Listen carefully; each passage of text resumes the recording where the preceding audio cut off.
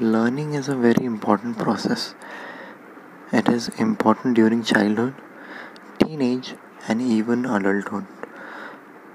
Of course, I cannot speak about old age, but I'm very sure that even in old age, the process of learning should continue.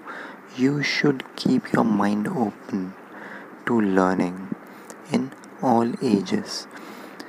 Now, learning is a process it has two sides one is to learn and the other is to unlearn learn is is the process we are very familiar with जैसे कुछ नया सीखना हमें जो पहले से जो आता है हमारी फ़ील्ड में उसमें कुछ ऐड करना नया इसे कहते हैं लर्निंग अब अनलर्निंग एक ऐसा प्रोसेस है एक ऐसा एस्पेक्ट है जिसमें हमें कुछ सीखे थे सिखाया गया था हमें।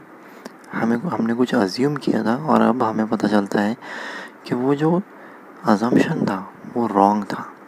रियल वर्ल्ड में ऐसा नहीं है। एग्ज़ाम्पल लेता हूँ मैं। जैसे अगर बचपन में किसी ने आपसे कहा हो, सिर्फ़ वही स्टूडेंट्स जो एक साइड में बैठकर और पूरा दिन पढ़ते ही रहते हैं, सिर्फ़ वही अच्छे मार्क्स ला सकते हैं। फिर आप कभी प्रोफेशनल कोर्सेज करने जाते हो तो आपको पता चलता है कि ये तो सच नहीं है।